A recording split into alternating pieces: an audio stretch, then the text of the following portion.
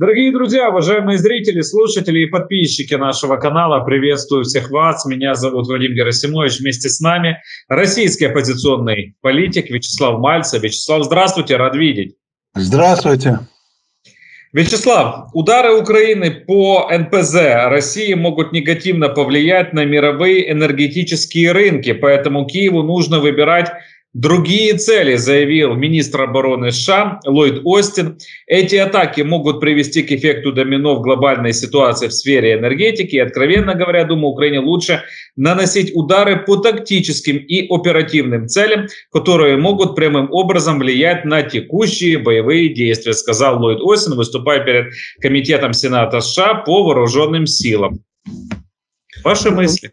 На текущие боевые действия как раз бы повлияло уничтожение запасов топлива у Путина. Да? Помните, как в 1945 году крутился как уж на сковородке Гитлер, у которого не было горючего после того, как Плоешти отбили. И все, и пришлось из э, каменного угля делать, бензин, там, топливо для самолетов. То есть выдумывать совершенно невероятные вещи э, в области химии, нефтехимии, да, э, и э, ничего хорошего из этого для Гитлера не случилось. Он быстро-быстро проиграл. А начал-то войну, если вы помните, в Польше только благодаря тому, что Соединенные Штаты сняли санкции и э, определенные компании, которые, кстати, существуют и до сих пор, нефтяные, да, и которые, наверное, никак нельзя бомбить вот сейчас. Да? Вот эти нефтяные компании продали нефтехимические, если быть точно, Гитлеру большое количество тетраэтилсвинца, и благодаря этому он увеличил мощность э, моторов своих самолетов, дальность и смог завоевать быстренько Польшу. Потому что если бы этого тетраэтил свинца не было, то самолеты, которые тогда летали на бензине с поршневыми двигателями, далеко бы не улетели. Такое количество времени не смогли бы держаться в воздухе и были бы более легкой целью для э, противовоздушной обороны. Поэтому, мне кажется, все повторяется, история то же самое. Вот представьте, у Путина сейчас бы, э, ну, какие-то НПЗ, большую часть украинские беспилотники уничтожили, какую-то часть партизаны, и что было бы? Чем бы Путин заправлял свои машины, чем бы заправлял э, свои там дроны, самолеты, и прочее. Поэтому, я думаю, лукавит этот американский министр, министр да? обороны, да? обороны. Ну, я понимаю, да, очень, очень лукавит. Почему? Ну, потому что главное, да, он же не сказал, главное это выборы. Да, если бензин будет стоить на выборах очень дорого, то Байдена могут послать нафиг избирателей, будет э, страшная там сумятица. А и поэтому никто не хочет такую брать на себя ответственность. Да? Если, э, как они говорят, вся мировая экономика, она является интегрированной, глобальной и так далее. А основная масса этих глобалистов – это кто такие? Это мировое организованное преступное сообщество, которое питается изо всех щелей. Да, у Путина отсосет чуть-чуть там, там, там, и нормально так на круг получается. Земля оборот сделала, там какие-то огромные миллиарды им в карман упали. Да, потому что они как бы спят, а экономика, которая в их руках, на них работает. Поэтому они хотят, чтобы так и продолжалось. Чтобы русские пытались убить всех украинцев, украинцы пытались отбиться от всех русских, а они на этом бы только богатели каждый день, и у них было бы все нормально. Короче Поэтому... говоря, Вячеслав, как, как в той шутке, а давайте вступим в НАТО, и им новый член, и нам приятно. Но откровенно говоря, на ваш взгляд, вот по вашим ощущениям, вот это заявление Ллойда Остина, вот этот призыв – Э, направленные в сторону украинской армии, мол, не бейте по российским НПЗ. Вот этот призыв, он для вас лично неожиданный или ожидаемый? Да ну как неожиданный? Ну, трубы э, идут через поля сражений, что вы говорите, какой неожиданный, да, Уренгой, Помар и Ужгород идет через поля сражений, э, газопровод Южный, э, нефтепровод Дружба, о чем можем говорить, да, никакой неожиданности тут нет, тут получается так, война, война войной, а вот газовые нефтяные деньги, они как бы свое, поэтому мы в этом смысле не питаем никаких иллюзий. И, в общем-то, задача э, западных вот этих товарищей, я думаю, э, сменить власть в России не на демократическую, а на очередного Чубайса. И мы даже в этом не сомневаемся. То есть, какой они ставят цель? Освобождение России. А зачем освобождение России? Им нужно, чтобы Россию продолжали грабить. Ну, видите, вот сегодня э, докладывают, что Авина с э, Фридманом, Запад с них санкции снял. Видите, такие они бойцы невидимого фронта на стороне Запада. И, Очень и белые пушистые. Но об этом дуэте мы с вами поговорим. Тем временем еще одно заявление из США о том, что Украина не должна бить по нефтеперерабатывающим заводам. Российская нефтегазовая инфраструктура, это гражданская инфраструктура, заявила помощник министра обороны США э, Воландер, ну, это подчиненная э, Остина, здесь все понятно, но давайте также напомним и высказывание Йенса Столтенберга, генсека НАТО, который заявил о законности украинских ударов за пределами боевых действий, имея в виду военные цели. Это часть права Украины на самооборону, наносить удары по законным военным целям за пределами, российск, э, за пределами своей территории, поскольку Россия использует столько различных военных средств для ударов по Украине. Так, слушайте, ну, может уже как-то этот коллективный Запад, он определится, почем бить можно, куда бить нельзя. Нет, что, ну... что это за война такая? Ну, как в Южном парке, помните, там Э, дети, когда куда-то к отцам-основателям они слетали и задали вопрос, вот как хорошо, вот одни, одни против войны, а другие за войну там в Америке.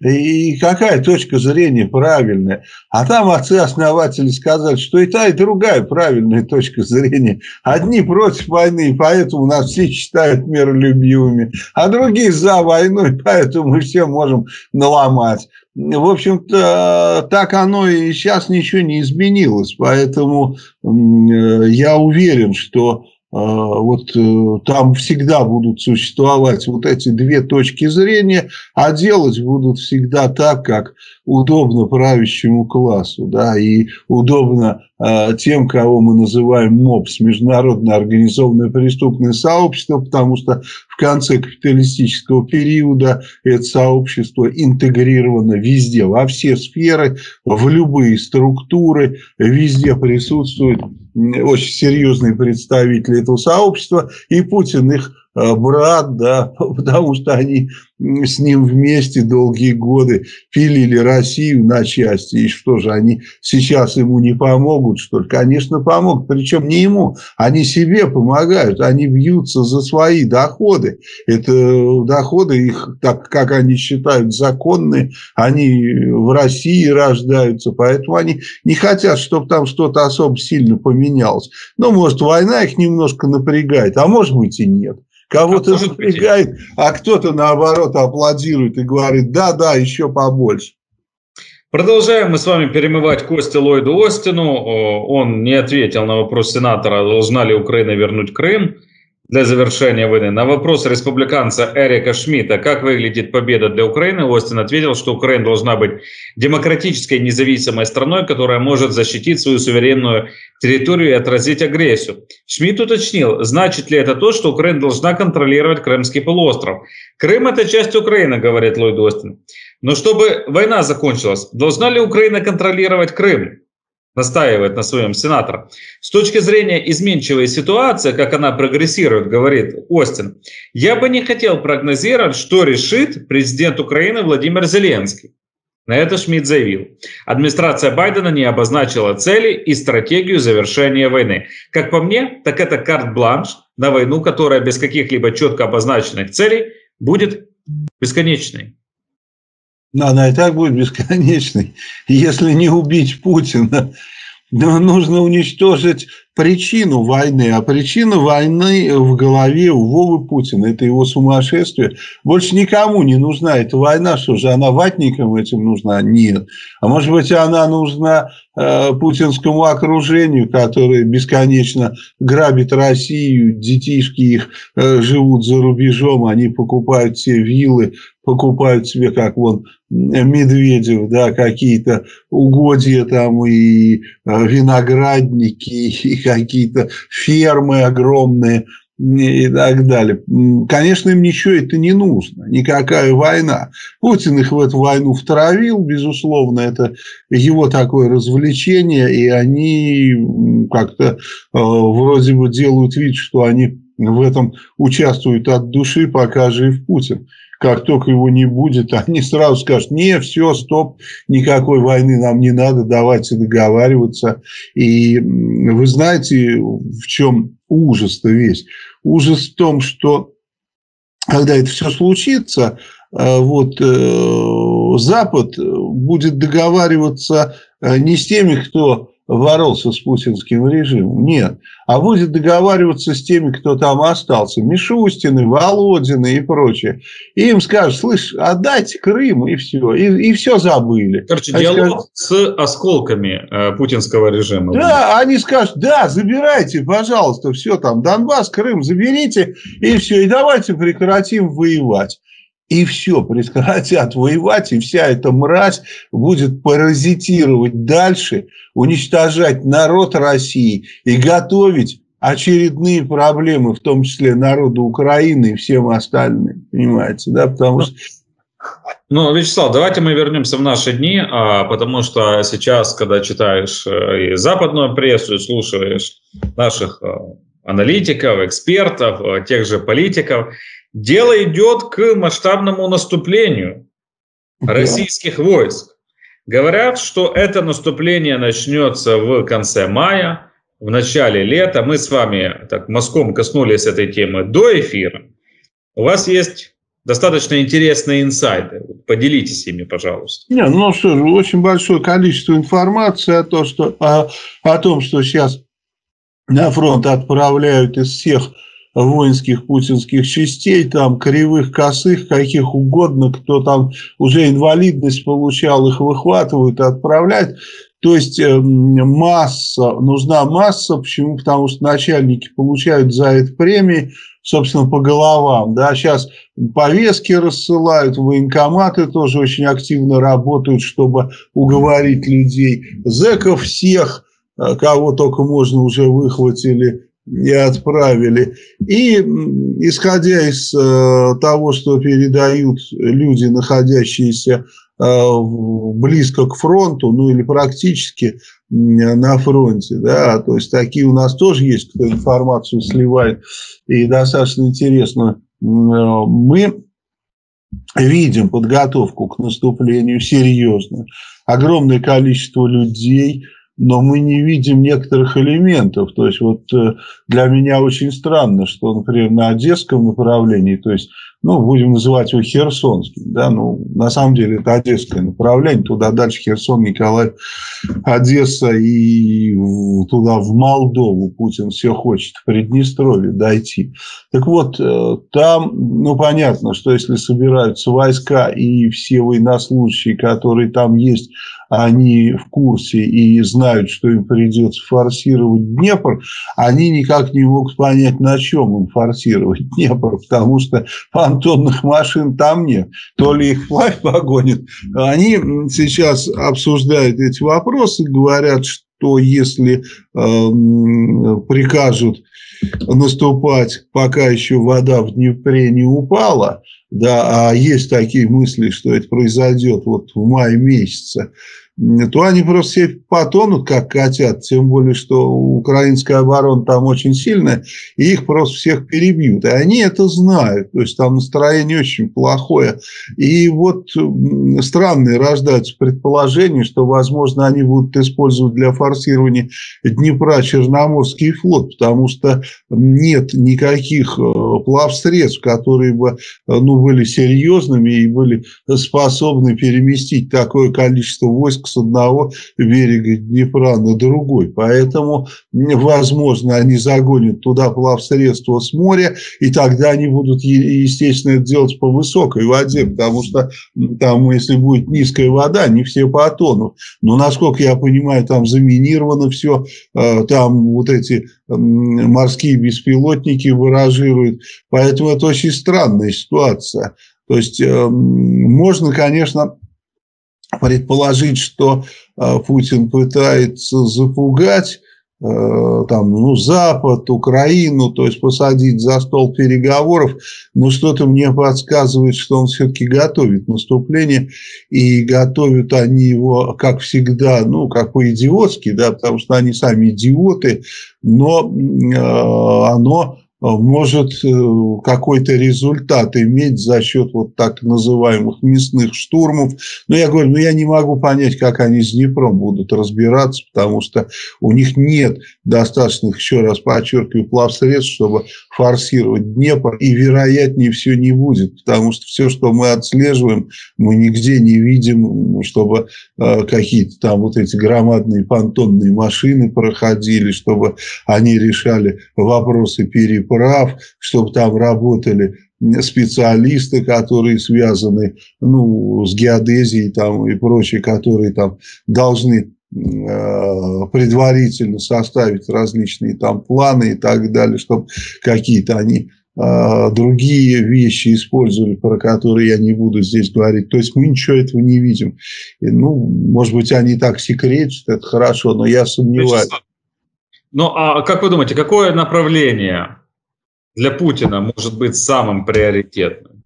Одесса, конечно. Он, он мечтает после того, как и Приднестровье отказались депутаты в Россию вступать.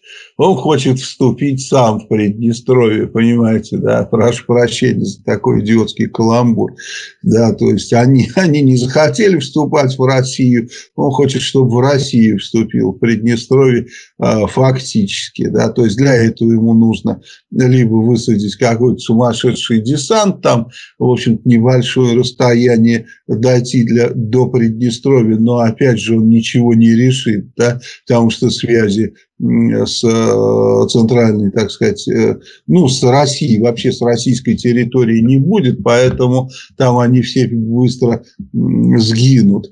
Или ему нужно идти через Херсон на Николаев, потом на Одессу и потом уже в Приднестровье. Я думаю, что они такую грандиозную операцию разработали. Это в стиле танкистов, вот, в стиле Герасимова и всех остальных. Ну, у него же все стратегическим планированием занимаются танкисты. Поэтому нарисовать то, что они придумают, ну, это вот как два пальца об асфальт, вообще никаких проблем нет. Потому что, ну, что может быть, кто может быть глупее танкиста, да, на сегодняшний день?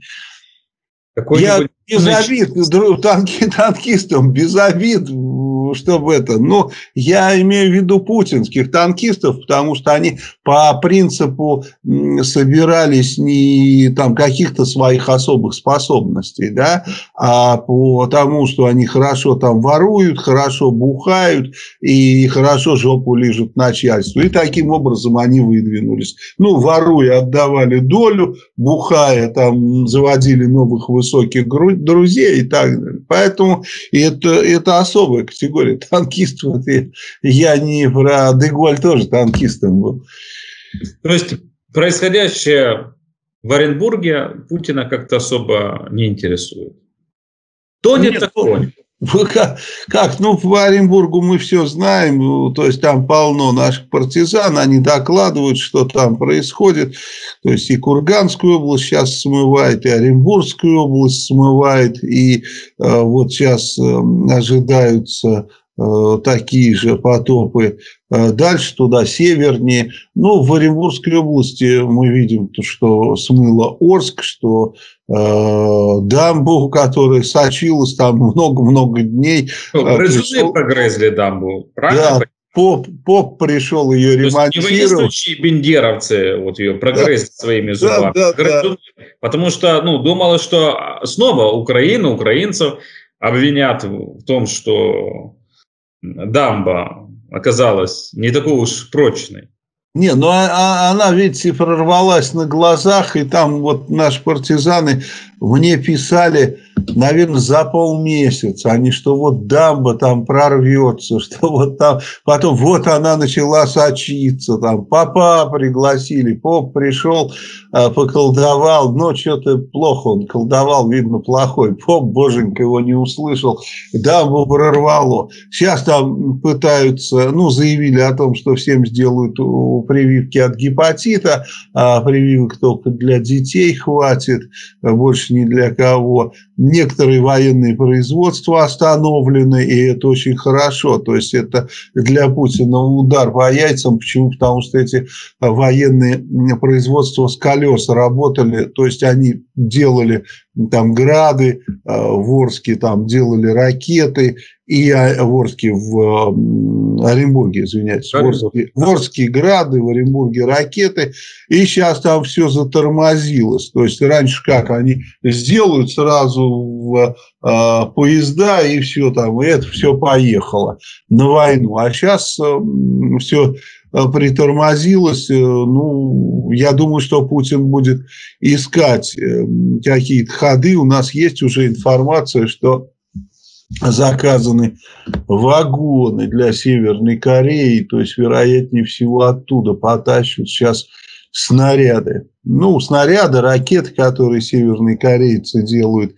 И я думаю, что в ближайшее время все это будет, потому что ну, у Путина сложная ситуация. Да? То есть сейчас когда а, происходят такие потопы, и самое главное, когда с энергетической системой такие проблемы. Посмотрите, в России сколько трансформаторов сгорело, сколько ЛЭП разрушено, в том числе и силами партизан, да, и, конечно, это а, влияние очень серьезное оказывает на промышленное производство, потому что когда нет трансформатора на условном каком-то заводе в Челябинске, да, там есть заводы, на которых вообще их просто нет, потому что они сгорели, взорвались, их починили, они сгорели и взорвались второй раз. Есть заводы, заводы, где там два трансформатора крупных было, да, один работал на полную, а второй вроде как запасной.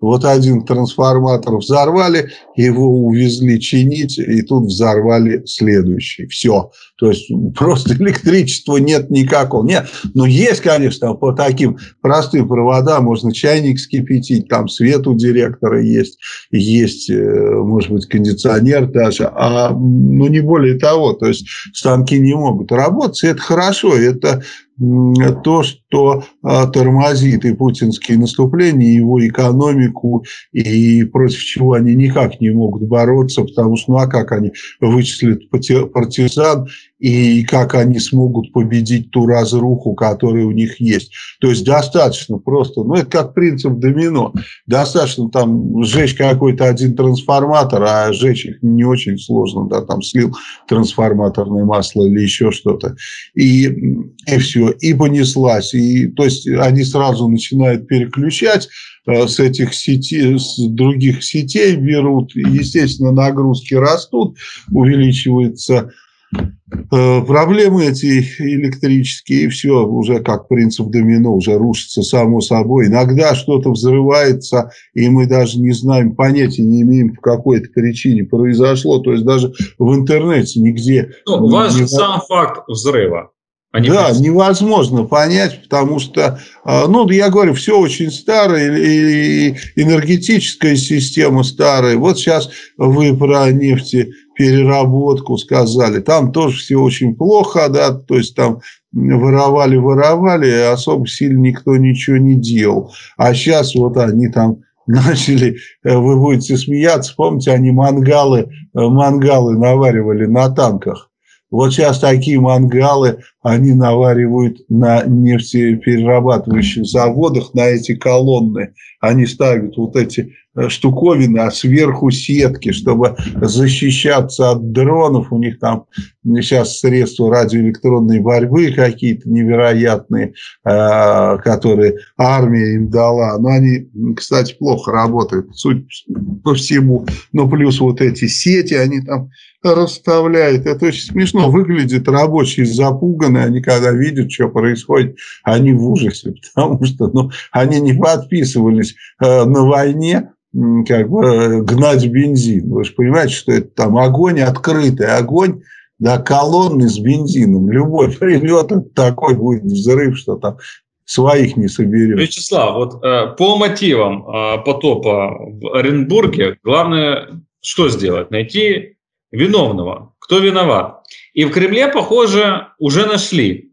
виновного. Полномочный представитель Путина в Уральском федеральном округе обвинил Казахстан в том, что у России прорвало дамбу. По данным представителя Путина, аномально высокий уровень воды в Оренбургской э, области якобы был вызван сбросом воды в водохранилищах на территории Казахстана. С его слов, этот вброс якобы был не согласован с российскими властями, что и предположительно привело к прорывам дамбы. То есть все, през... все претензии можно адресовать такая. Нет, ну когда э, такое случается, я имею в виду высокая такая вода, половодье, то, конечно, сброс воды происходит и э, на плотинах различных, и это ни для кого не секрет, и никто никого ни о чем никогда и не предупреждает. О чем предупреждать, если ты не сбросишь воду, то снесет всю плотину, и тогда и сбрасывать ничего не надо, она все равно пойдет волна и всех потопит, и все дамбы снизу снесет. Поэтому они говорят откровенную чушь, ну, исходя из того, что они всегда говорят чушь, потому что им нужно как-то защищаться. Вы правы, они ищут виноватых и ищут не в зеркале, а где-то за рубежом. Видите, то есть Украина уже виновата была в теракте в Крокусе, американцы, по их мнению, это с НАТО, с НАТО проплатили. А, вспомнили эти, эту компанию, да,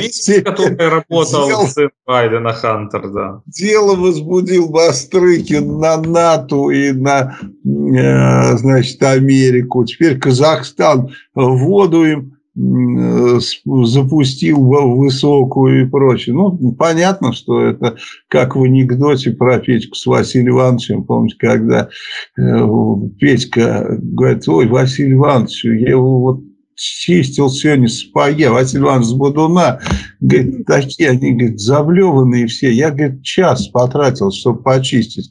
Он говорит, ты, Петька, даже не представляешь, вчера Пул Фурманов нажрался и все сапоги мне обливал, пока я его домой тащил. Он говорит, да, Василий Иванович, он вам еще и в галифе насрал. Вот это вот приблизительно то же самое, что сейчас делает э, Россия под руководством Путина. То есть пытается найти всех тех, кто им в галифе насрал. Так, а с чего вдруг суд Европейского Союза неожиданно отменил персональные санкции против основателя Альфа-банка Петра Авина и Михаила Фридмана? Ну, как что, ну, они стучите и вам откроют, как сказано, да?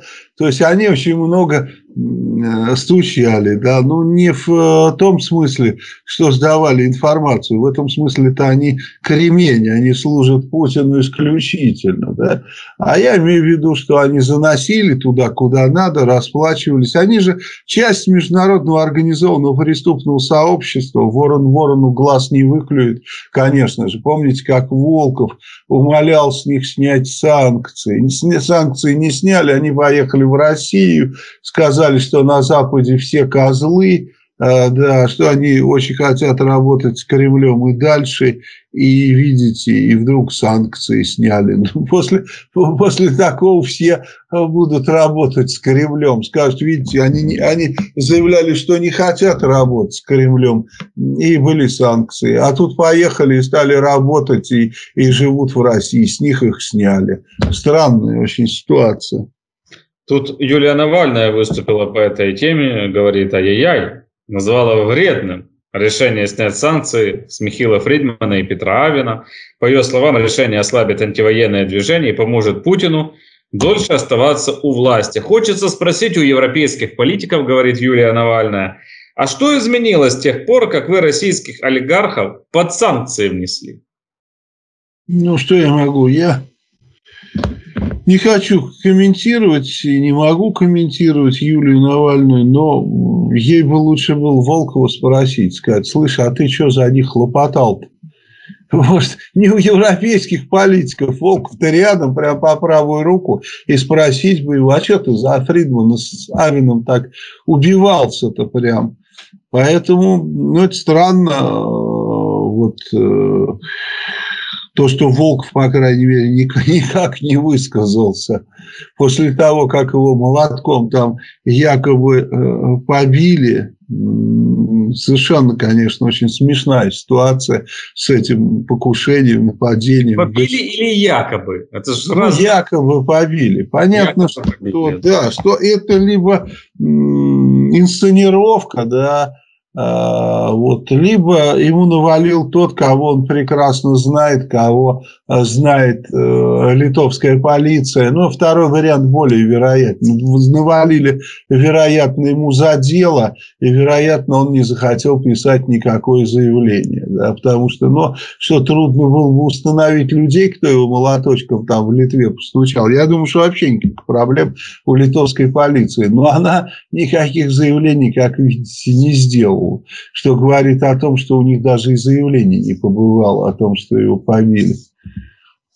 Тем временем Стрелков якобы просится на войну в защиту бывшего командира сепаратистских военных формирований на Донбассе Игоря Стрелкова-Геркина, отбывающего, напомню, в России четырехлетний срок за экстремизм, хочет добиться его освобождения и отправки на войну в Украину.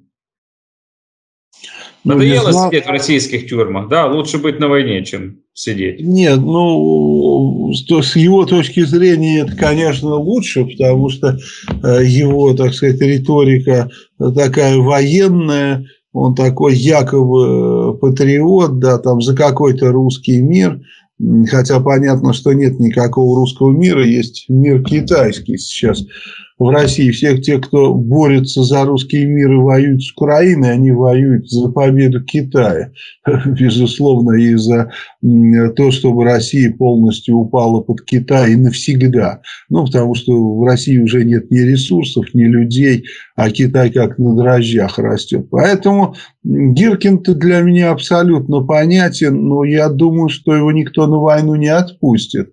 Ну, представьте, отпустит Гиркина на войну среди так называемых патриотов, он авторитет, да, его там только валить путинцам. Ну, то есть, отправить на войну и выстрелить ему в затылку. Другого варианта... Так просто... это сделать раньше, ухандокать его на войне, а не садить там в тюрьму. А зачем? Когда? А когда он последний раз на войне? Это было в 2014 году был. Ну, если цель стоит порешать? Нет, ну у них, у них цели, цель такой нет. Если его будут отправлять на войну, то значит а, такое распоряжение поступило. Потому что в противном случае, если они не имеют цели его уничтожить, они его на войну отправлять не будут. Им, им это совершенно не нужно. Почему? Потому что, а, понимаете, ну, как бы он такой в, среди этих патриотов авторитетный товарищ, и он туда придет, если его там сразу они не замочат, э, то он вокруг себя сколотит, э, конечно, э, неплохую команду. Может быть, это не будет как у Пригожина, но в любой момент Путину нужно будет ждать каких-то неприятностей для себя. Я не хочу сказать, что если у него там будет какой-то рота, батальон ну, силами все равно больше он не справится. Больше, чем батальоном он командовать не сможет. Вот. Даже как те танкисты.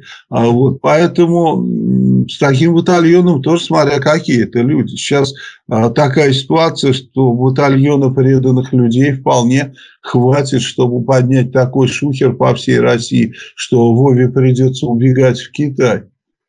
По китайским мотивам в свете грядущего визита Путина в Пекин и беря во внимание тот факт, что Лавров уже там суетится в Китае, готовит почву для будущей поездки первого лица, Wall Street Journal нам торжественно сообщает о том, что Иран продал России тысячи дронов для бомбардировки украинских городов, и еще 6 тысяч беспилотников, э, беспилотников должно быть произведено в особой экономической зоне между тем, Украина в гораздо больших количествах закупает дроны для обстрела фронтовых позиций противника у другого партнера России, у Китая. Украина нашла способы заполучить десятки тысяч дронов, а также наладить поток запчастей для них из Китая. И вашим, и нашим Китай работает. Ох, какой хитрый Си Ну, Китаю очень важно, чтобы э, путинская Россия ослабла только в таком виде он может ее принять. Зачем ему сильная какая-то Россия? Там, для них очень важно, чтобы максимально долго был Путин, потому что он разоряет и уничтожает Россию. Для них важно максимально долго, чтобы были всякие придурки типа Шойгу. И Лавров, вы сказали, поехал, чтобы готовить почву для визита Путина. А с одной стороны, это так, да, потому что первое, первый визит после инаугурации будет в Китай. Но есть и другая точка зрения. А, я говорил, что он обязательно поедет в ближайшее время.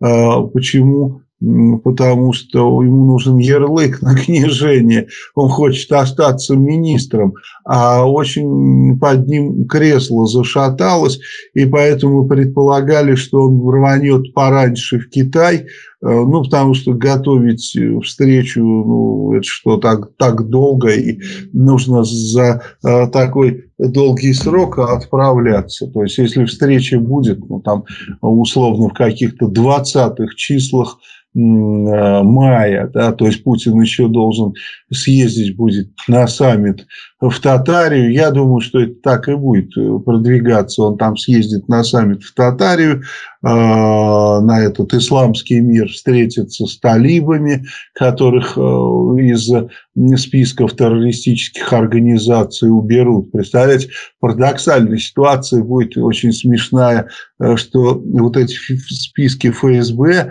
да, которые причем судом утверждены, э, террористических организаций, талибов оттуда уберут, а нашу организацию номер 35 там оставят. Это будет очень весело. То есть мы будем круче талибов в этом смысле. А инаугурация Путина состоится? Возможно, партизаны готовят какие-то сюрпризы? Не, ну мы попробуем.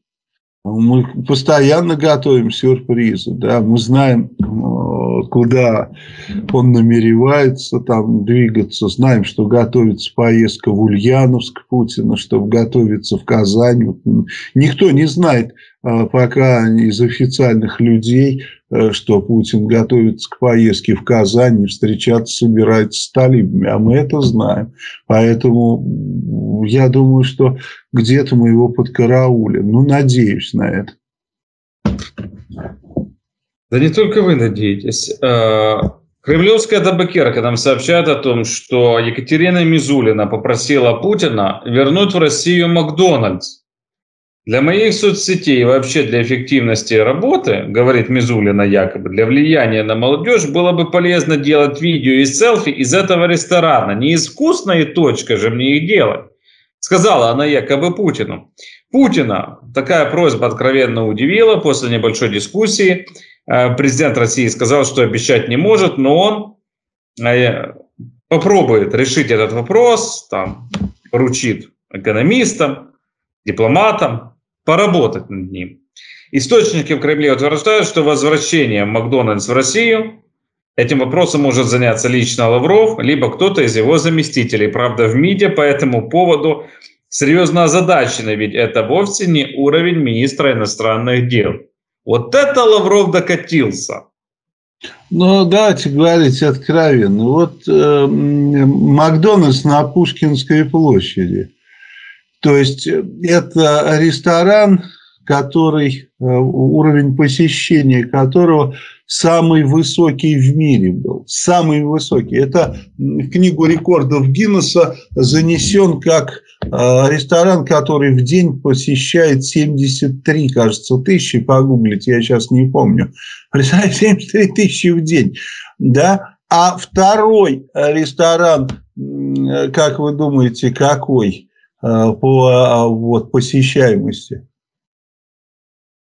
Ну, меньше, чем в километре от этого, который в сторону Красной площади находился Макдональдс на улице Огарева и, и э, этой, ну, которая Горького, ну, Тверская, да, вот, и там 38 тысяч посещаемость, там 73, здесь 38. Но цифры Представляете, какие Макдональдс платил налоги? Он же это не укрывал, да? Он платил в путинскую казну. Они там повыпендривали, сказали, так, все, вкусная точка, да, там от вкусной точки получили очень невкусный, такой, такой, что в них только надо вкладывать, и ничего ты оттуда не получишь. А в этих ничего вкладывать не надо, а платят абсолютно бешеные налоги. Наверное, я не знаю, как какая-нибудь нефтяная компания, а может и больше. Прям кушать захотелось и в Макдональдс ходить. Так, Вячеслав, тогда в завершении нашего э, сегодняшнего эфира также Кремлевский... Я, кстати, не, люб, не люблю Макдональдс. Не любите? Нет. Ну, о вкусах не спорят. И ну, точка. Да, да я что-то... Не, это не значит, что я люблю вкусные точки. Я там вообще ни разу э, не, не ел. Ну, я как-то предпочитаю другую еду. Какую тогда? Раз уж пошла такая тема пьянка, расскажите, что любите. Да, обычную какую-нибудь, нормальную такую. Ну, домашнюю предпочитаю. Но если вот брать эти забегаловки, то, конечно, Бургер Кинг мне как-то ближе, чем Макдональдс по вкусу, или там KFC какой-нибудь, ну...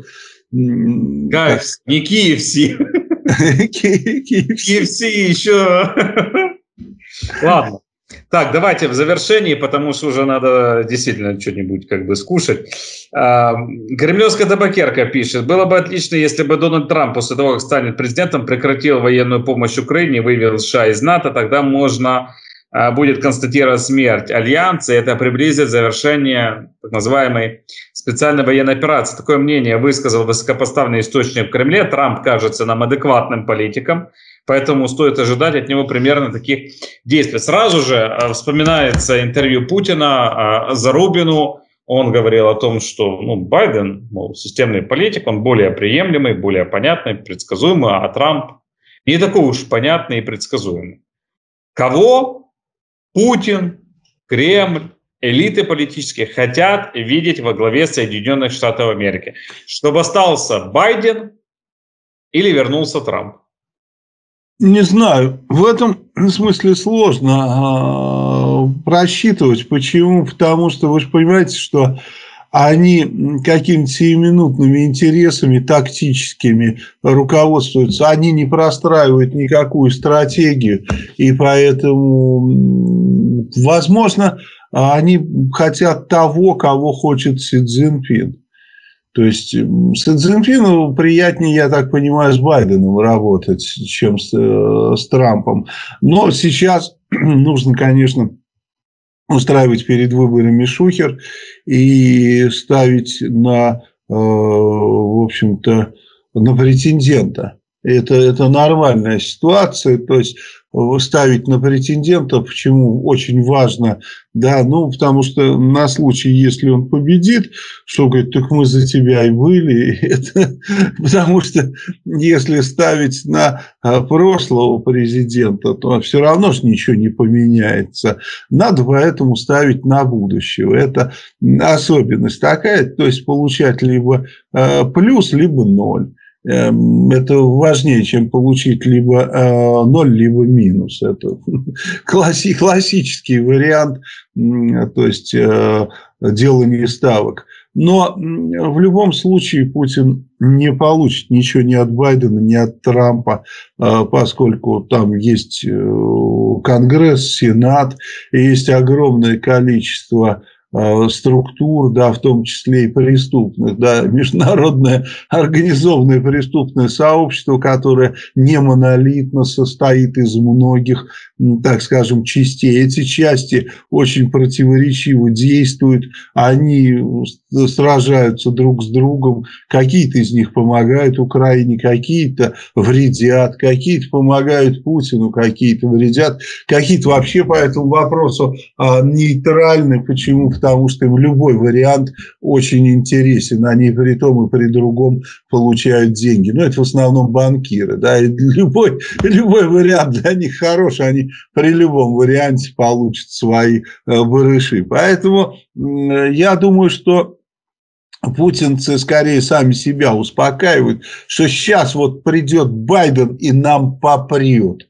Ну, как-то же надо э, какую-то такую планку поставить, да, тем более, то есть Байден, э, Трамп придет и попрет, да, нарисовать вот эту планку, э, победа Трампа более вероятная, чем победа Байдена, и поэтому они оглашают вот окрестность болота, болото таким воем, да, что кто это там воет на болотах, это путинцы, они Трампа хотят. Трамп придет, мало чего изменится, но они скажут, видите, вот мы победили, потом скажут, он нас обманул, там, ну, если будет что-то не так. Это для ваты, это, вот эта риторика, она, конечно, чисто для ваты, что э, когда придет Трамп сказать, что это победа Путина. Ну, видите, Путин Трампа поставил, он же хотел, чтобы Трамп был, вот он. Вернул его раз... в Белый дом, да. Да.